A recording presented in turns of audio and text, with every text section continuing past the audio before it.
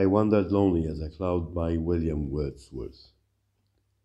I wandered lonely as a cloud that floats on high over vales and hills, when all at once I saw a crowd, a host of golden daffodils, beside the lake, beneath the trees, flattering and dancing in the breeze, continuous as the stars that shine and twinkle on the Milky Way, this rich and never ending line along the margin of the bay.